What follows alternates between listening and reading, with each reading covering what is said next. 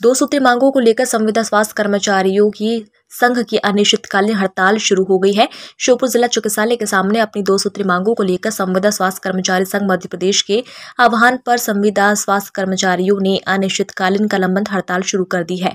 जहाँ संविदा स्वास्थ्य कर्मचारियों ने बताया कि लोक स्वास्थ्य परिवहन कल्याण विभाग के अंतर्गत राष्ट्रीय स्वास्थ्य मिशन मध्य प्रदेश में लगभग बत्तीस हज़ार संविदा स्वास्थ्य कर्मचारी कार्यरत है, जो कि विगत एक से बीस वर्षों से लगातार काम कर रहे हैं, जिन्होंने कोरोना काल के दौरान भी अपनी जान हथेली पर रखकर लगातार स्वास्थ्य सेवाएँ दी है, जिसमें अपने कई साथियों को भी खोया है। मध्य प्रदेश शासन काल द्वारा संविदा कर्मचारियों के लिए कैबिनेट में 5 जून 2018 की नीति सामान्य प्रशासन विभाग द्वारा जारी की गई थी, मगर एनएचएम के संविदा कर्मचारियों पर आज दिनांक तक उक्त नीति लागू नहीं की गई है। विगत वर्ष 2021 में आंदोलन के दौरान एनएचएम द्वारा जारी पत्र में कहा गया था कि जून के द्वितीय सप्ताह 2021 तक वित्त विभाग के अंतिम निर्णय लेकर पाँच जून दो हज़ार अठारह की नीति लागू कराई जाएगी, जो कि आज दिनांक तक लंबित है। वहीं बताया गया है कि मध्य प्रदेश के एनएचएम के संविदा स्वास्थ्य कर्मियों को अन्य राज्यों की भांति नियमित किया जाए तथा पाँच जून 2018 की नीति लागू कर उनके अनुशासन नियमित कर्मचारियों का न्यूनतम 90 प्रतिशत वेतन और अन्य सुविधाएँ आज दिनांक तक एरियर सहित राष्ट्रीय स्वास्थ्य मिशन के समस्त संविदा कर्मचारियों को तत्काल आदेश जारी किए जाए।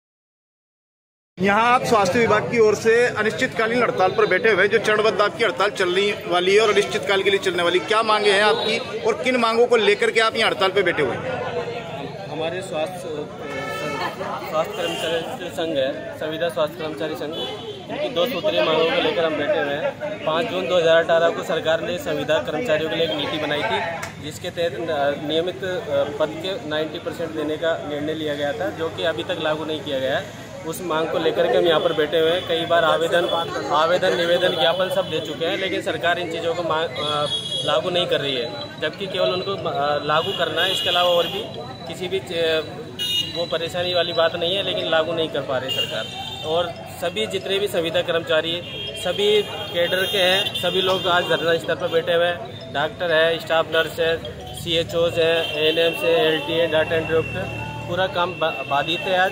और ग्रामीण स्वास्थ्य सेवाएँ पूरी तरीके से बाधित है। तो ये हड़ताल आपकी कब तक जारी रहेगी? जब तक हमारी मांगे नहीं मानी जाती तब तक हम निरंतर अनिश्चितकालीन हड़ताल पर रहेंगे और 20 तारीख को विधानसभा घेराव भी रहेगा हमारे।